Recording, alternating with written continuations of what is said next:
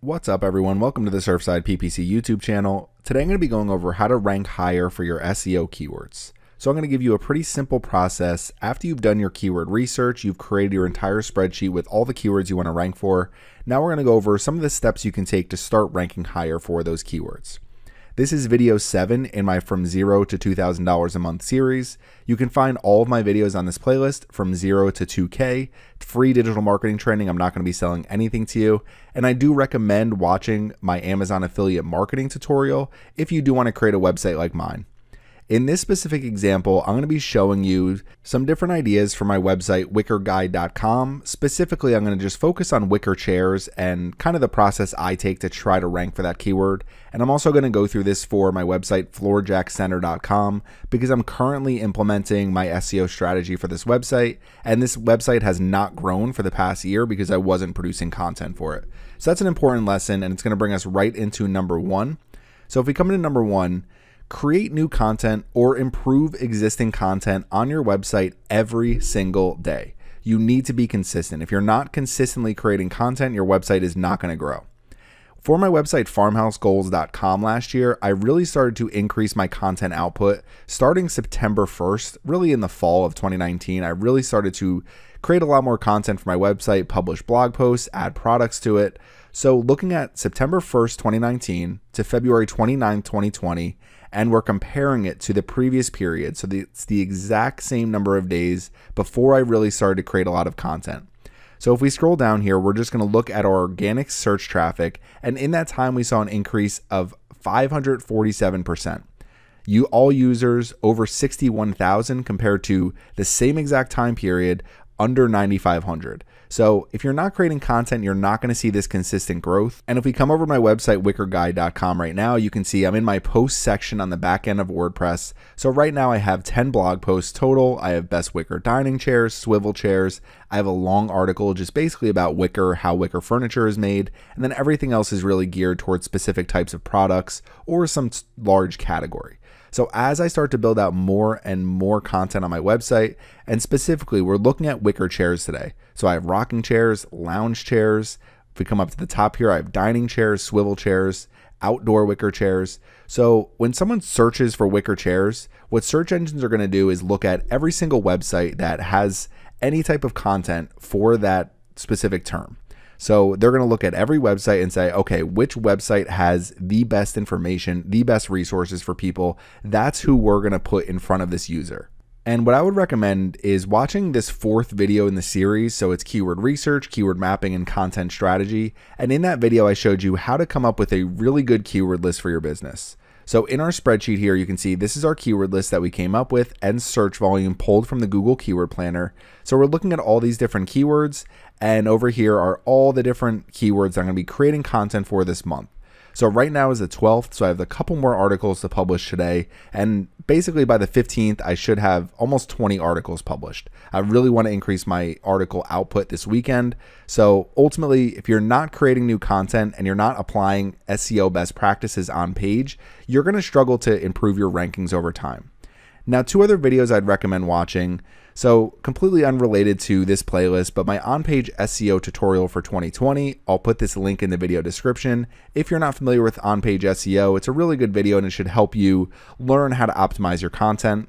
And then also how to create content that ranks high in search engines. I created this earlier in the year. It goes over some similar topics that I go through in this video, but it's also going to give you more information. And it won't hurt to watch either of them if you're really struggling to improve your rankings in Google and other search engines. Now, last but not least with this point, if you're having trouble creating new content or improving your content, you can always outsource some of these processes. So I use iWriter.com a lot for articles. If you come in here, you can order content, you set your own prices, the length of the article you need, what quality of writer you're looking for. So you can do pretty much everything with iWriter when it comes to written content. And then you always have options like fiverr.com where you can get writing and translation work. You could do everything articles and blog posts, website content. You can get white papers. Maybe you need podcast writing if you're doing a podcast and you just need a little bit more help on the writing aspect of it. And also, they have video and animation. So, if you come in here, you can get a whiteboard and animated explainer. Those types of things can be used as content on your website. So, if you're having trouble creating content every single day, you can outsource some of it. You can create some yourself. You can focus yourself on improving your existing content. So for me, I'm basically about 50 50. I outsource a lot of my written content, especially on websites like wickerguide.com and farmhousegoals.com. I outsource a lot of that because it just helps me take that content, publish it, and it helps me create a lot more in a shorter period of time. Number two is understand what ranks for your targeted keywords and really focus on creating a better resource on your website. So, this one is pretty simple. Go to Google, type in some of your targeted keywords. So, again, we're going to use wicker chairs here as my example, and we're going to use floor jacks as my example. If we come in here, we have advertisements at the top. You can see I have some search performance for this specific search query, floor jacks. I have zero clicks. I'm in almost the 70th position over the last 28 days, so I really need to improve this. But if I just search floor jacks, I can see what basically always comes up is top 10 best floor jacks, best floor jacks review and buying guide, 10 best floor jacks of 2020. And then we get down here to Home Depot where they just have floor jacks for sale, their e commerce website. Keep coming down. So e commerce, northerntool.com, harborfreight.com. And then again, if we come over to wicker chairs and we scroll down, again, we have this for beachfrontdecor.com. It's a keyword I target with that website as well. But if we keep scrolling down, you can see they have the local options right here. So all these Google My Business pages and some of these local stores where you can buy wicker furniture images. So it makes you keep in mind that you should make sure your images are also search engine optimized because people are coming into images to find different products they might be interested in purchasing.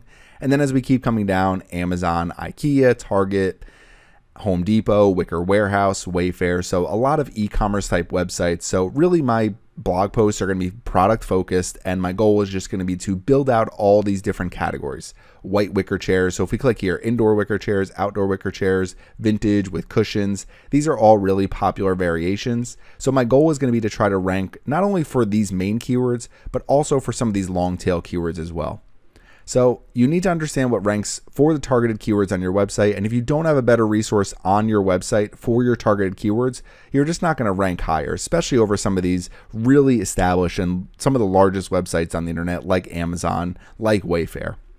So we'll come to number three. You need to make sure you're covering your main website topic and all subtopics comprehensively, and you want to link your pages together.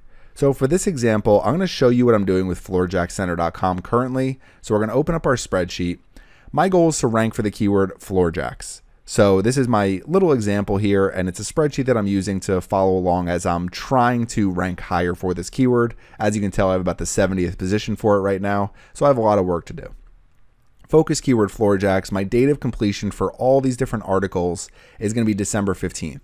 So you can see best floor jacks, 3 ton, 2 ton, 3.5 ton, 22 ton, heavy duty, low profile, trolley jacks, car jacks, hydraulic floor jacks, all different variations that people regularly search into Google and other search engines.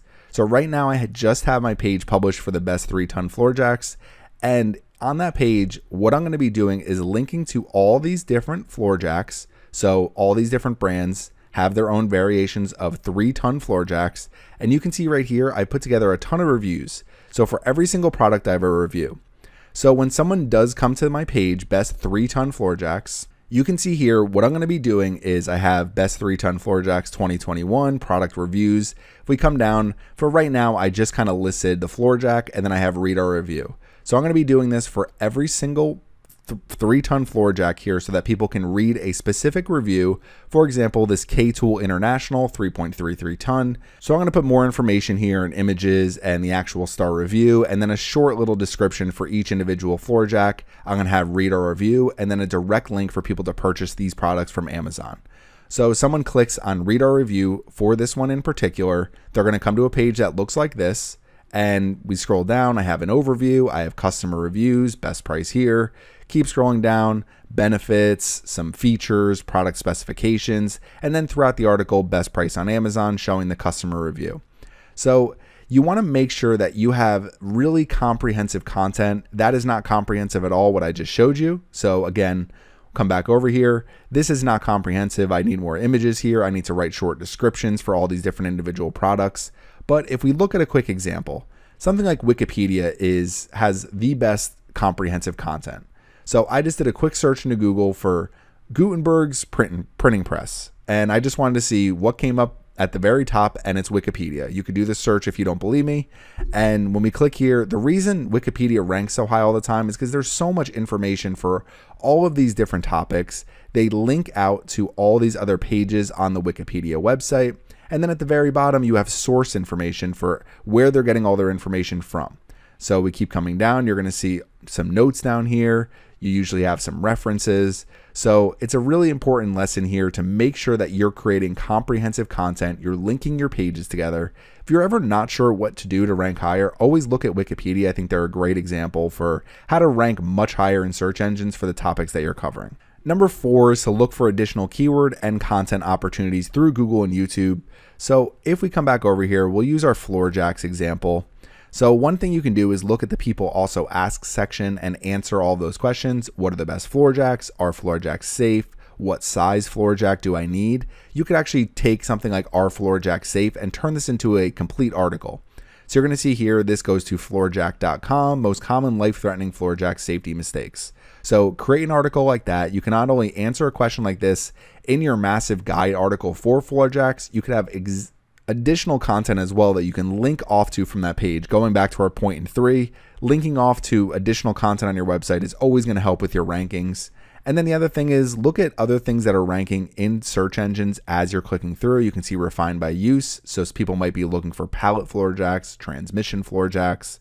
Let's go to page two. So on page two, as we scroll down, you can see right here, top six floor jack picks. So a YouTube video, quick 10 minute video uploaded by Power Tool Buzz, and they probably just go over some of their top floor jacks.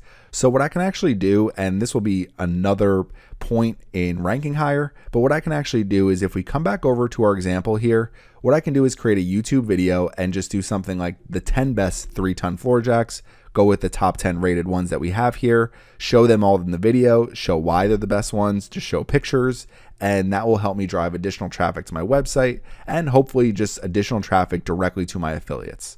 So coming back over here, looking for additional keyword and content opportunities. So in the wicker chairs example, if we come back over here to wicker chairs, we have images here. So making sure that you have really optimized images is just another opportunity there. Again, the local pack that can be helpful, but it's not always something that you have an option for if you don't have a local business. So always want to be finding new opportunities in terms of long tail keywords and then seeing what is ranking. I like this plugin here, Keywords Everywhere. So it's completely free. You can see it's up here. It's Keywords Everywhere. So if you just search Google for Keywords Everywhere, you'll find it. You can install the free version. And every time I search, it'll give me related keywords and people also search for. So as we scroll down here, I could maybe see what a wicker peacock chair is. I'm not even sure what that is. Padded wicker chairs, vintage wicker chairs, indoor basket chairs. So I could try to find some different variations, just gives me more ideas, and it's ultimately going to help me rank for this short tail high volume keyword. Number five, make sure you're repurposing and you're marketing your content with social media, email marketing, guest blogging, email outreach, even paid advertising. So coming over to our example. So if I create this YouTube video, that's a great example of repurposed content. To give you a few more examples from other brands that do it really well. So NFL Network, obviously they have 4.1 million people who like their page, 4.2 million people follow their page. So they have week 10 NFL power rankings. So full rankings here. So they want you to click on this link. And the way they kind of get you to look at this is you list the first five. So there's a bunch of other teams here that are not listed. 27 other teams are not listed. So other fans are going to come in, click on the power ranking, see why they're ranked in a certain spot. And it's really just a simple graphic just like this can help drive more traffic to a certain page on your website. Another example, again, we're going to use Surfside PPC, my Facebook. I'm not the greatest with social media. It's something I'm really trying to improve in 2021. But Google Ads will begin limiting data to the search terms report. So I did a YouTube video on the topic. I have a blog post on the topic. And then I have a short one minute and 54 second video preview. Now I only get six likes. I only got like about 100, 200 views on this video. So it's not much, but it helps people click on my YouTube video, go to my blog post, and it just helps me drive some additional traffic. So looking back at our presentation, so social media, obviously repurposing content is always going to help you drive more people back to your website or to a YouTube channel Email marketing, obviously, you need to build up your email list before you can start marketing any of your content there. So, you want to start with content. Once you have built up a good base of content, start building your email list and then send out periodic updates. Guest blogging, so you want to find relevant guest blogs. This isn't going to work for every niche or industry, but for something like marketing, it could be really useful email outreach. So I get people that email me a lot saying, Do you want to link to my article? Do you want to read my article? Do you want to see my infographic? I created this video. Maybe you can publish it on your page. So I get a lot of email outreach, and a lot of that works. It doesn't always work with me specifically, but for other people it really works well especially if you're trying to get more backlinks and you say hey i wrote an article on this topic i think it would be useful for your website visitors if you give me a link, I'll share your article on my social media to my 100,000 followers. So it's something that you can do to try to get more backlinks and maybe get some influencers or some larger websites with some audiences to try to highlight your brand, your business, or some of your products. Paid advertising, you can use a variety of paid advertising methods. It could be Something as simple as a boosted Facebook post. Some people use native advertising. So there's some different options with paid advertising. Obviously, you have Google Ads and you have Microsoft advertising. You could try Facebook ads. So there's all these different options. Sometimes I'll get articles promoted to me through LinkedIn, through Twitter. So there's some different options you can try there with paid advertising. It can be useful if you have a high impact page on your website that helps drive revenue for your business. Number six and seven, I'm going to go through pretty quick but use Google Search Console to find additional keyword and ranking opportunities. So I have Google Search Console set up for Wicker Guide, but I'm not getting much there yet. So if we open up my Google Search Console for Floorjack Center, you could see I still don't get a ton of clicks. I mean, on average, I'm right around 40 per day, kind of dropped a little bit here, coming back up. If we go over to performance, the main thing I like to look at is what search terms are driving clicks and impressions. I'll usually click on impressions we can click on our average click through rate in the Google search results and our average position, which is 30.2. And as we scroll down here, we can see over the last three months. So, two search terms Floorjacks, Floorjack, the one that I really want to rank high for. You can see my average position 52.9, 59.7, total of 12 clicks here. Really not much at all. So, it's something I need to improve. And I probably need to add how to use a floor jack, add an article on my website, how to bleed a floor jack, add an article on my website. So finding all these different ideas, American made floor jack. So that's something that's pretty popular, especially for people in the United States, trying to find an American made floor jack. So if I come back over here to my spreadsheet and we have the articles I want to write, one thing I can do is add one here and just do best American made Floorjacks. So I'm already ranking for that keyword. So if I do a large article for the best American made floor jacks, figure out which ones are made in America and just rank them based on the rating I have here, that's going to help me ultimately use the Google Search Console to find keyword and ranking opportunities and content opportunities so that I can keep driving more clicks back to my website. Last but not least, focus on improving your website engagement and your bounce rate. So if you start noticing that the more people are visiting your website, your bounce rate is getting worse, your average session duration is getting worse, your pages per session are getting worse, it's something you should be alarmed by. So, you always want to pay attention to all this behavior data because ultimately it's going to help you with your rankings if you can drive more engagement. It's a Google ranking factor in terms of bounce rate, average session duration. If someone's going, and let's just say, for example, we'll come back to our searches here let's just say someone clicks through this link to IKEA and they're on that page for 10 minutes. They go through different pages. The bounce rate on the page is maybe very small. And then over here with Target, and this is probably not the case, but let's just say someone clicks on Target here and they're spending, and the average session duration is one minute. The average page, pages per session is half of what it is for IKEA. The bounce rate is doubled. So eventually, what Google is going to do is say, okay, IKEA has built a page that people are engaging with much longer than they're doing with this Target page. So we're going to rank this IKEA page higher because it's showing that people are more engaged with it. People are finding this page more useful. So that's something to keep in mind as you're creating content is you want to make sure people are staying on your website for a while and they're not bouncing too often.